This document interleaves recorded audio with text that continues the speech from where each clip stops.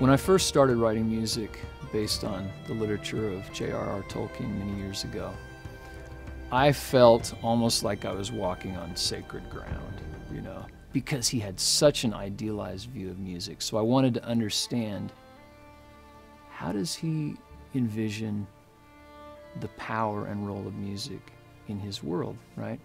Thus the years of research, thus the painstaking notation of vocal ranges, you know. How does an elf sing? How does a dwarf sing? What kind of instruments do hobbits play? Right? Things like this. You pull that out of the literature.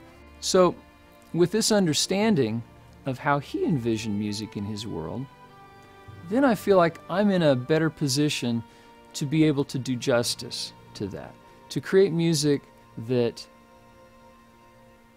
is authentic. Part of the tone we're trying to get uh, to relate with the game is also this majestic tone that we discussed, but also a visceral tone. Uh, Rohirrim, in, in some sense, exists and it's a real place, and to bind that real place, it's not glamorizing it and putting in such beautiful lighting that it seems unattainable and, and fantastic. It has to seem authentic and real and organic.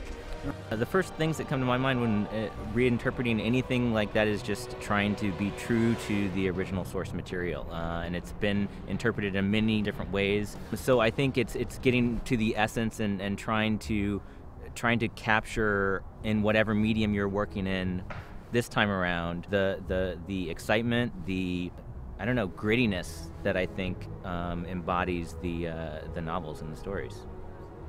I think the fans have some fairly strong expectations when it comes to Rohan. I mean, they were very, they've been Rohan is one of the strongest elements in the books, in my opinion, as far as uh, as far as stirring the emotions of the readers, captivating them, and creating a mental image of uh, of, of what people expect. So. It's a fairly daunting task to uh, try to try to meet those expectations. In that respect, it's also a it's also a really fun challenge to try to uh, try to create what we've all seen in our heads while reading the books on the on the screen.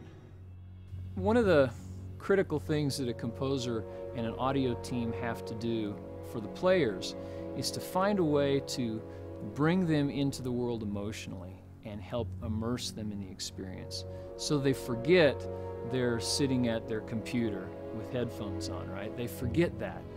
They feel like they are part of the Rohirrim they feel like they are wandering around in the Entwash Vale, you know. They feel like they're in that place having that experience. We sort of, I like to say, while the players are playing the game, I'm playing the player, right? With some emotional knobs and sliders to kind of bring their emotions into the experience.